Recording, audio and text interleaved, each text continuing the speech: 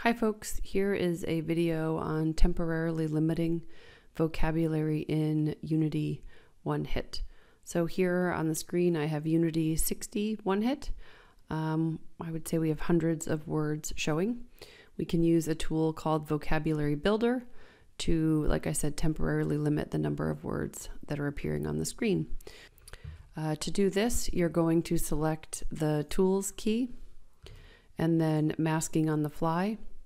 You'll see uh, currently all of the words are available because they're bright. So the first thing I'm going to do is mask everything. And then I'm going to touch the words uh, to unmask them.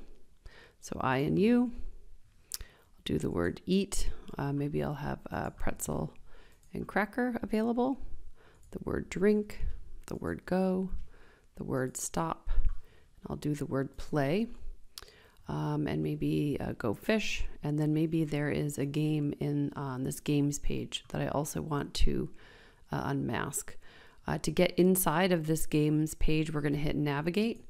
Uh, this navigate key makes this key do its job. So now it's going to go to the games page and uh, let's do PlayStation and Chutes and Ladders. Once again, if I want to get back to my main screen, I'm going to hit navigate and that will make this key do its job. So I'll go back. Uh, and I think that is um, good. So I'm done uh, revealing all the words I want to. So I'm going to hit the top bar to exit. And now you'll see that I have the words I, and you. You. You. Play. I can play. say go fish. Go fish. Or I can say play. Play. Chutes and ladders. Chutes and ladders. Okay. Um, the next thing I can do is add more words if I want. So I'm going to head back to my gray wheel here, back to masking on the fly. And this time I want to add some social words like awesome and um, sorry. That's a good one. And the word cool. And I'm also going to add a couple prepositions on and off, as well as up and down. I'm all set. Okay, so now I have more vocabulary Sorry. revealed. Um, so you can either keep adding more words or if you want to turn vocabulary builder off, you can do that as well.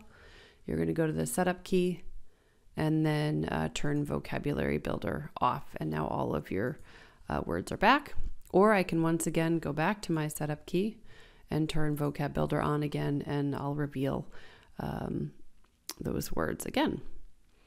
All right, that is a quick video on using Vocabulary Builder to temporarily limit vocabulary.